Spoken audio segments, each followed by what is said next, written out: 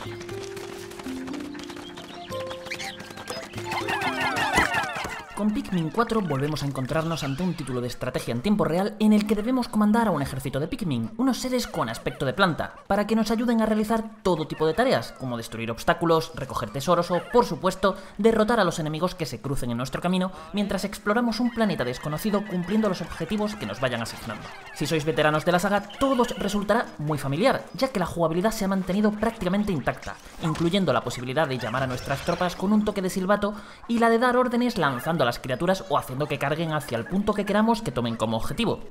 Todo esto se traduce en unos controles muy sencillos, intuitivos y satisfactorios que nos permitirán realizar todo tipo de acciones con unos pocos botones, por lo que no tardaremos ni 5 minutos en hacernos con ellos y dirigir a nuestro ejército como auténticos expertos mientras les asignamos diversas tareas, exploramos territorios desconocidos y trazamos nuestra estrategia para aprovechar al máximo el tiempo del que disponemos cada día antes de que anochezca y nos obliguen a volver a nuestra base para descansar. Algo que conviene señalar es que esta vez no contamos con un límite de días para llegar al final juego, algo con lo que ya se experimentó en Pikmin 2, pero que aquí se ha llevado un paso más allá para poner todo el foco de la aventura en la exploración y la libertad de elección del jugador, permitiéndonos jugar a nuestro ritmo y sin presiones de ningún tipo para que siempre podamos decidir qué es lo que queremos hacer en cada momento. Esto hace que estemos ante un viaje mucho más relajado y amable que lo visto en títulos como Pikmin 1 y 3, donde el límite temporal siempre ejercía una presión sobre nosotros que nos obligaba a ser muy eficientes y a planificar cada día con muchísimo cuidado. Esto no quiere decir que no haya retos donde sí que nos obliguen a jugar bien y con cabeza, aunque no se puede negar que se trata de una aventura mucho más amable con un nivel de dificultad algo inferior a lo que la serie nos tiene habituados, pudiendo incluso retroceder en el tiempo para volver a puntos de control anteriores y rectificar cualquier error fatal que hayamos podido cometer. Lo realmente importante es que el bucle jugable que se crea sigue siendo muy divertido, ya que querremos aprovechar nuestras incursiones diarias para intentar realizar la máxima cantidad de cosas que podamos, por lo que la mayor diferencia es que ahora somos nosotros quienes marcamos el ritmo. Además, el modo en el que progresamos y desbloqueamos nuevas funciones, mejoras y características es muy gratificante, algo que resulta especialmente cierto durante la primera mitad de la aventura, donde celebraremos cada pequeño descubrimiento que hagamos, ya sea un tesoro para aumentar la cantidad de energía de nuestra nave y poder llegar a una nueva región inexplorada, nuevos tipos de Pikmin cuyas habilidades nos permitirán enfrentarnos a nuevos desafíos, cebollas con las que aumentar el número máximo de tropas que podemos desplegar, o la entrada a una mazmorra donde rescatar a otros astronautas perdidos. Una de las grandes novedades que trae consigo esta entrega es la inclusión de Ochin, un simpático y utilísimo perrete con el que tendremos que colaborar activamente para avanzar. Tenemos varias formas de interactuar con él, ya sea dándole órdenes como si fuese un Pikmin más para que desentierre ítems, mueva objetos, ataque enemigos y destruya ciertos obstáculos, o controlándolo directamente como si fuese un personaje independiente. Es más, también podemos usarlo como montura, una forma muy práctica de desplazarse por el mapa que, además de permitir que nos movamos a mayor velocidad, también hará que todo nuestro ejército se enganche en su lomo, evitando así que se dispersen para asegurarnos de que no se quedan atascados con un desnivel o reciben un golpe por ir demasiado retrasados. La cosa no termina aquí, pues Ochin puede embestir y saltar, dos acciones que usaremos constantemente tanto para explorar como para combatir. Embestir, además de servirnos para hacer daño, destruir ciertos elementos del escenario y derribar rivales, también hará que todos los Pikmin que nuestro perro tenga encima salten hacia el enemigo a la vez, una maniobra con la que hemos aniquilado grandes monstruos en cuestión de segundos sin que lleguen a tener siquiera una oportunidad de contraatacar. Por su parte, la posibilidad de saltar implica un diseño de niveles algo más vertical e incluso ligeras secciones de plataformas. Eso sí,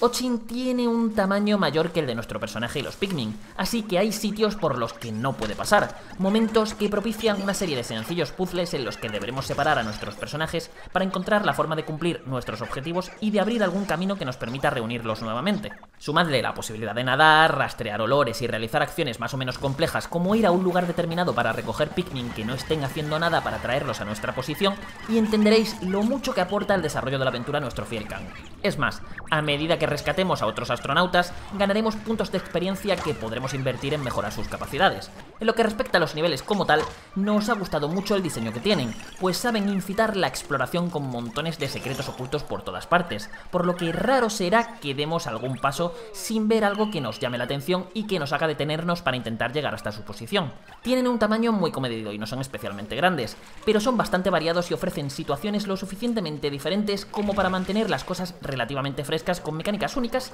para cada uno de ellos.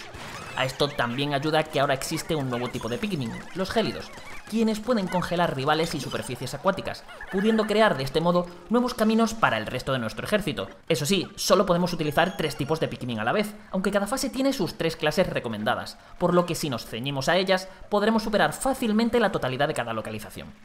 Quizá hemos echado en falta una mayor importancia del backtracking, ya que es perfectamente posible completar cada región al 100% antes de pasar a la siguiente, y el enorme protagonismo que tienen ahora las cuevas no nos ha terminado de convencer. Sí, las cuevas de Pikmin 2 han vuelto, planteándonos una especie de mazmorras en las que debemos bajar una serie de pisos completando retos, superando puzzles y derrotando grandes enemigos. Aquí es donde encontraremos la mayoría de tesoros y exploradores perdidos, y es el lugar en el que se ocultan los jefes. Evidentemente, una vez entremos y seleccionemos nuestro ejército, no podremos generar nuevos Pikmin, aunque por el camino siempre nos encontraremos con algunos de ellos en estado salvaje que podremos reclutar para nuestra causa. Por lo general, son entretenidas, ofrecen situaciones más o menos variadas y cuando estamos en ellas el tiempo se detiene por completo, aunque a medida que avanzamos empiezan a repetir algunos patrones y se van volviendo demasiado largas para su propio bien, rompiendo el ritmo del bucle jugable y llegando a hacerse incluso pesadas, especialmente cuando toca afrontar una con numerosos pisos. De igual modo, a excepción de la batalla final que sí que nos ha encantado, la mayoría de los jefes que nos hemos encontrado en esta entrega nos han resultado un poco desangelados por culpa de unos patrones no muy inspirados y una dificultad muy baja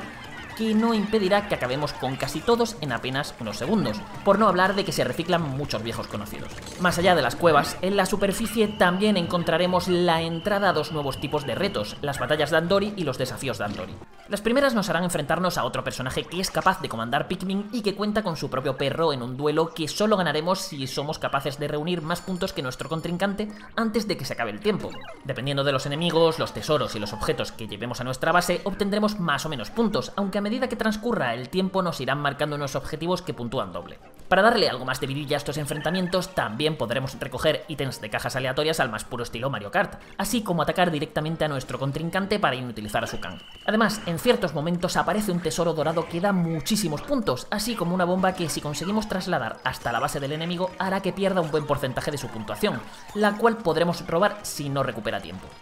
Son unas peleas divertidas y diferentes que, además, pueden jugarse contra otro jugador desde el menú principal en multijugador local, aunque la inteligencia artificial enemiga no nos ha supuesto apenas problemas ni en los compases finales, ya que suele tomar decisiones un poco torpes y poco eficientes. Eso sí, conseguir el rango de platino en ellas es harina de otro costal. Por su parte, los desafíos de Andori nos llevan a un nivel en el que deberemos recoger con los Pikmin que nos faciliten todos los tesoros y monstruos que podamos antes de que acabe el tiempo. El objetivo principal aquí es alcanzar la puntuación mínima que nos indiquen, aunque, una vez más, completar todas estas pruebas con un rango de platino es algo que nos requerirá de una buena planificación. Continuando con las novedades, no podemos olvidarnos de las expediciones nocturnas, unas misiones en las que deberemos proteger una serie de bases de los ataques de los enemigos hasta acabar con todos ellos o hasta que amanece. En esencia, son unos desafíos que nos han recordado mucho a un Tower Defense y que se caracterizan por el hecho de que solo nos permiten utilizar a Pikmin luminosos, una nueva especie de estas criaturas que es inmune a prácticamente todos los elementos y que se teletransporta a nuestra posición una vez ha terminado la tarea que le hemos asignado. Para sobrevivir hasta la salida del sol, vamos a tener que recolectar una serie de gemas para aumentar el número de nuestras tropas y activar estructuras que sirven como señuelo mientras organizamos nuestra defensa. Una tarea que se va complicando a medida que afrontamos retos más avanzados en los que cada vez hay más bastiones que defender y aparecen rivales más duros y numerosos. Es un tipo de contenido intenso y que va muy al grano, donde prima la acción, por lo que nos ha gustado como complemento para tomarnos pequeños respiros de vez en cuando. Eso sí, aunque a nosotros nos ha gustado, si este no es vuestro caso, os alegrará saber que para completar la historia solo necesitaréis completar unas pocas incursiones nocturnas de forma obligatoria.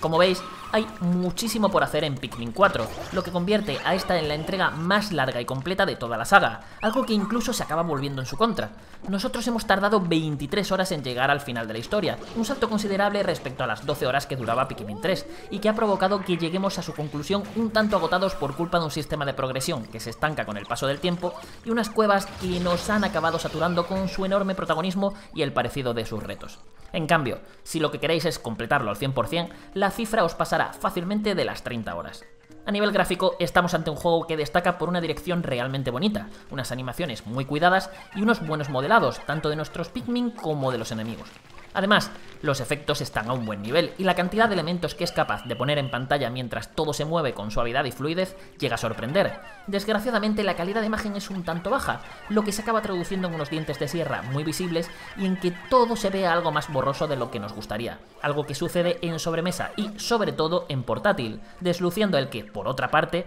es un buen trabajo técnico y artístico.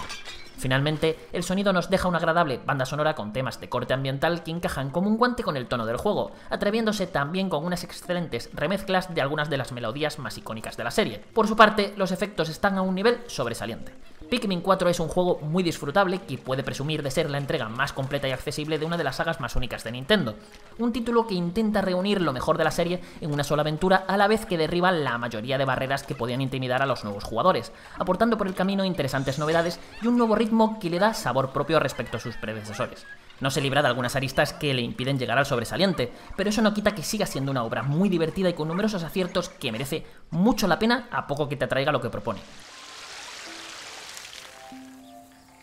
Honey!